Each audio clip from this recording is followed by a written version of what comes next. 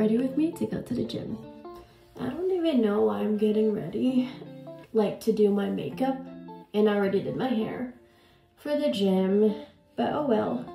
I like normally like to feel pretty and cute when going to the gym, so I feel more motivated. I'm gonna do a little bit of my makeup, starting with the primer. I really like this primer because it really helps my skin. It's been really bad lately. Oh well, we're gonna ignore that. This primer is really good. Really like it. I'm just gonna be putting some concealer, a little bit of bronzer, then probably this BB cream because I don't really want to do a full face of makeup. I just want to do something light. Putting some concealer cover all the imperfections. Blend them out with a beauty blender. I just started using this Blusher Stone and I think it's been really helping my skin. That it's working. I'm not gonna contour my nose, whatever. Who cares? Blush. Color. Blend it out. Good enough.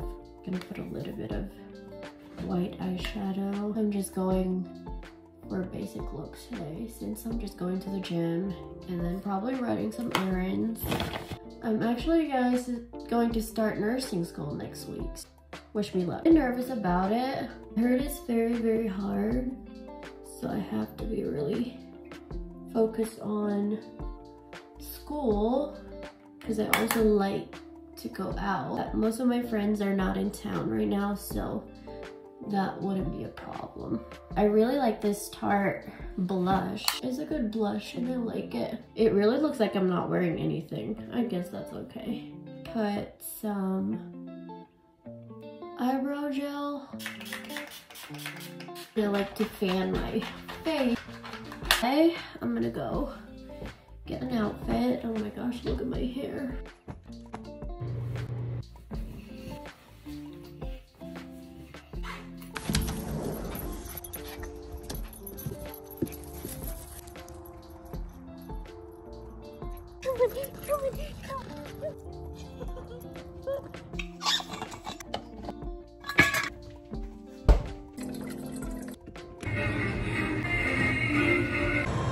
I just finished working out. I didn't get to film out there because I was a little bit shy, but whatever.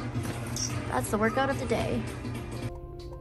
Contemplating if I should get a donut because I'm really craving for some donuts, but I just worked out. Mm, I don't know. So, I got the donuts.